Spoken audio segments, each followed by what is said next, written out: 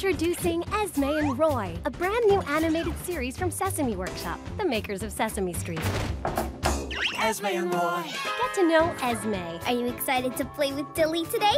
Yes, and Roy, Meatball cake, anyone? the fun-loving monster sitters from Monsterdale. So, Hugo, what do you want to play? We can do anything you want. I want to play trains.